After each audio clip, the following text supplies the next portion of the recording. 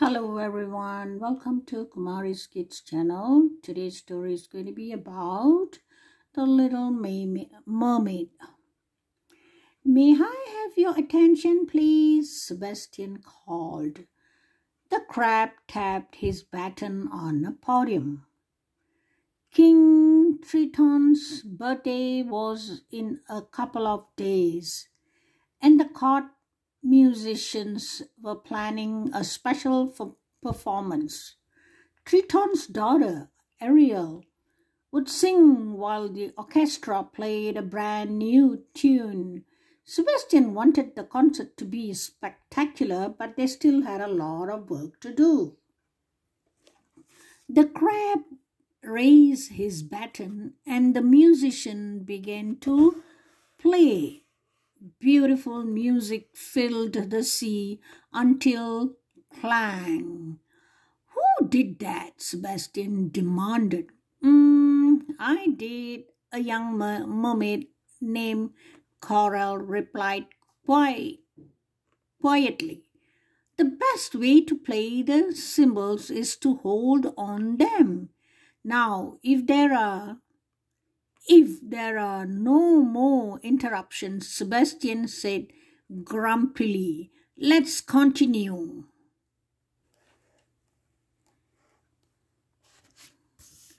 The rehearsal went from bad to worse. Coral dropped her cymbal a second time, clang. Then she tripped and landed on top of a kettle drum. As Ariel watched Sebastian threw down his baton, Re- rehearsal is over. The crab yelled and stomped off.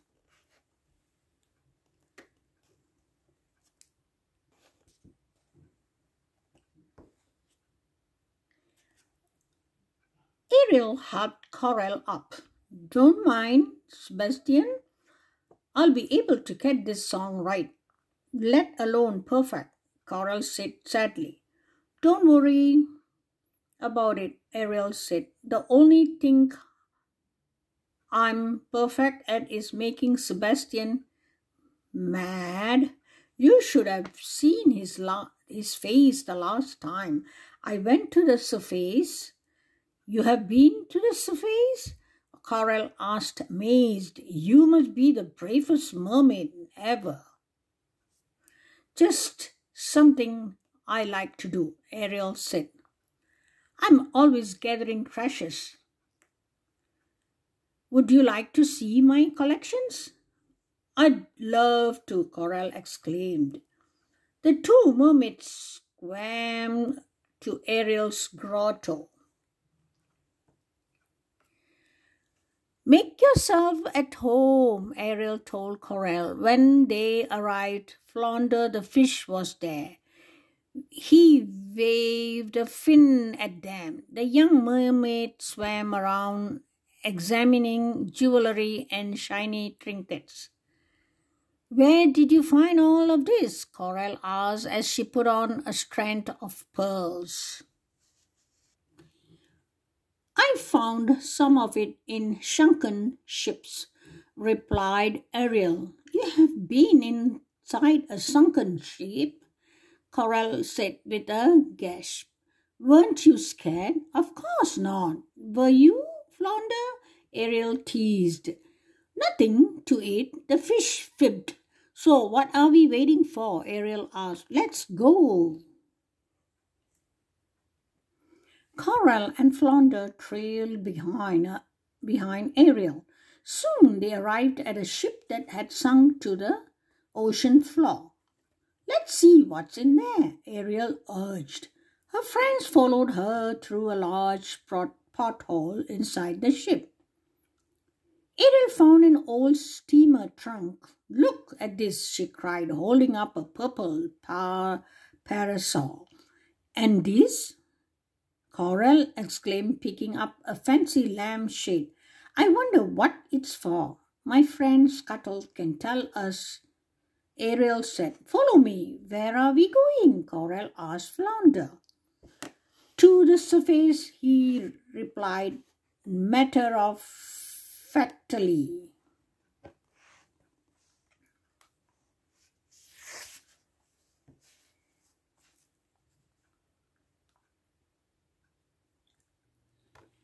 Soon the friends arrived at the surface.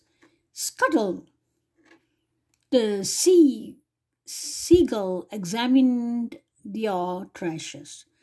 That is a oh, that's a true he said, looking at Coral's lampshade. It's what human ladies wear when they are going somewhere important. Before long, the friends had to leave as they headed home. As they headed home, Coral asked Ariel if she could keep the Trollfeuer at the grotto. It might be, it might get broken at home, she explained. Of course, Ariel agreed. The, the grotto is my secret place and it can be yours too.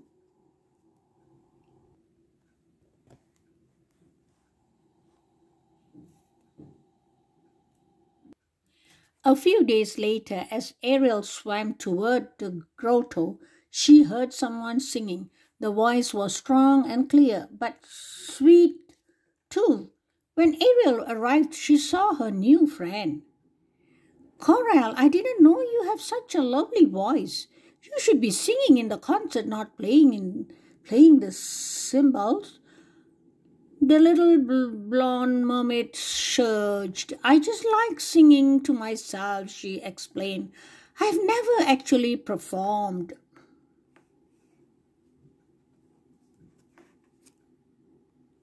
The next day at rehearsal, Sebastian made Ariel and orchestra practice over and over, but something always seemed to go wrong.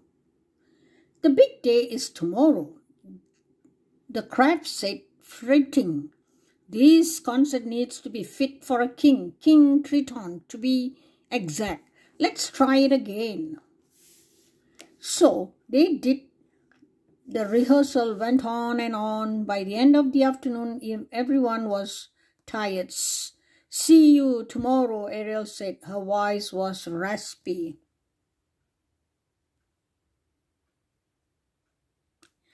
On the day of the concert, Ariel could only whisper.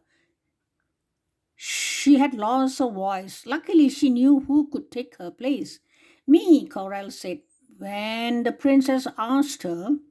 But I, I can't.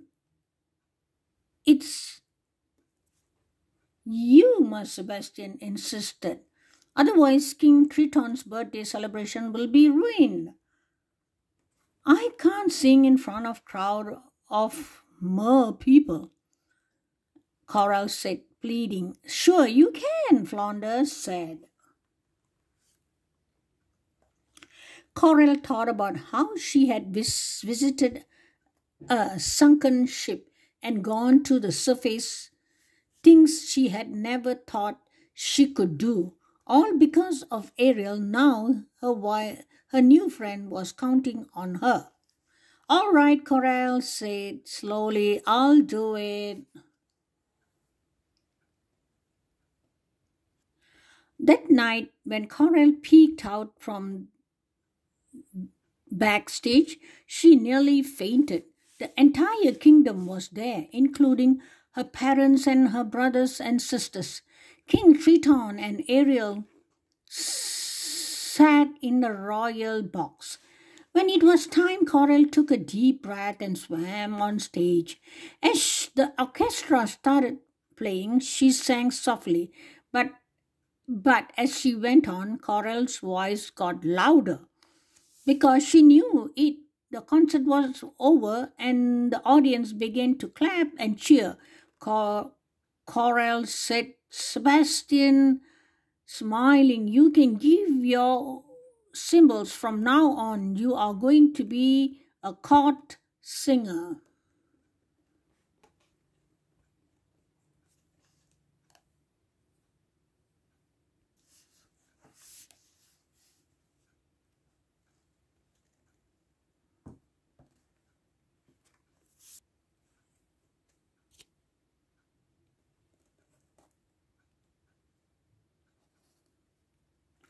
After the show, Ariel went to congratulate her friends. She found with her family, I didn't know you could sing like that. One of Coral's sisters exclaimed, No one ever would have known if it wasn't for Ariel, replied Coral. She believed in me. Ariel still couldn't speak, but she gave Coral a big hug. It has been a wonderful evening. Okay, guys, thank you for watching. I will see you guys in the next storytelling. Bye. Take care.